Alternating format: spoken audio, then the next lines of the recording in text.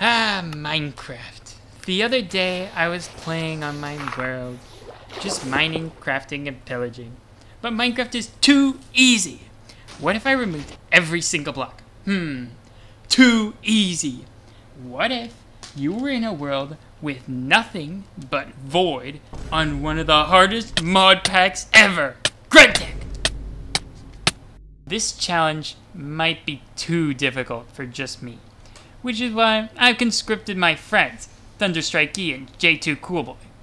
Thunderstrike E is the brains of the operation. He actually knows what we're supposed to do to progress. J2 Coolboy builds nice houses because he's a certified master builder. We will probably not beat this mod pack. In fact, I can remove the probably. We will not beat this mod pack.